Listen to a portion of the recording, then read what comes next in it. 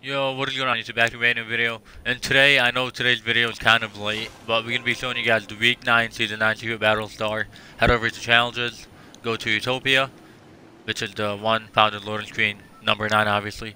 We made videos on all the weeks. All the odd weeks have Secret Battle Stars. All the even weeks have Secret Fortbytes.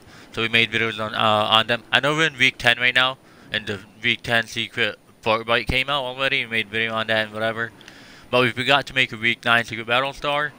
But we want to keep the streak going because we did upload all of them. But you guys want to come all the way in Mega Mall.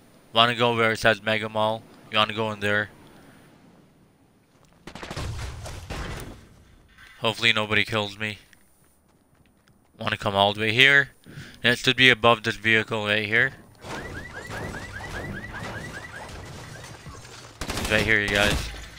Somebody just killed me, but that's where you guys want to go show you guys the mini-map location.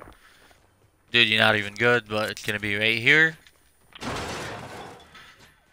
Right there. And then leaves the game, so you got the loading screen.